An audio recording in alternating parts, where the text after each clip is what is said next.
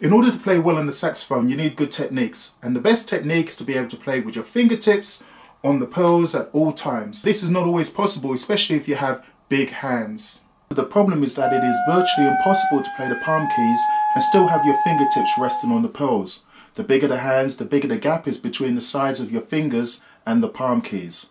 An expensive way to overcome this is to have your palm keys custom made for your hands.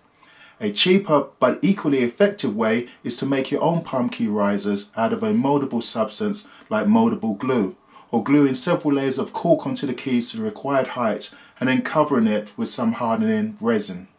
The cheapest way is to buy rubber palm key risers. However, they only raise the height of the palm key by a small amount and they have the added problem of moving or falling off when you're using them.